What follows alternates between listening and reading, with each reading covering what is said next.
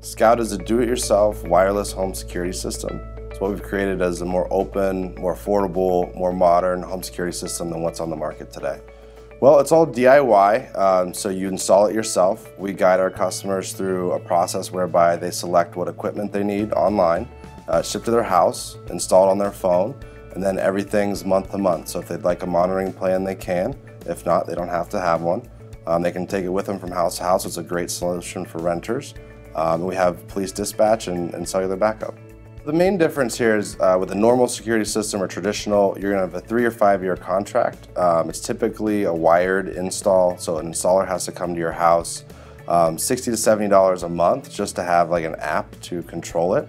So with Scout, it's, it's completely different. Um, no installer, all DIY, month-to-month -month contract, very, very flexible and customizable.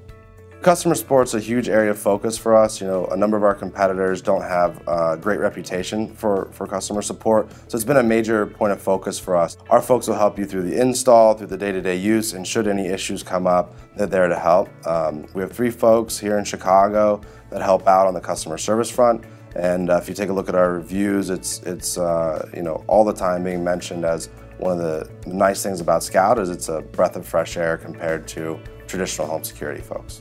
You know, I think a lot is happening with the connected home. Um, very interesting sensing technologies that are coming on the scene. Uh, we want to take advantage of those. So I think scouts are going to become you know, smaller, faster, um, more proactive. So right now, alarm systems are very reactive, where they're letting you know when someone's broken into your house, but they're already standing in your living room.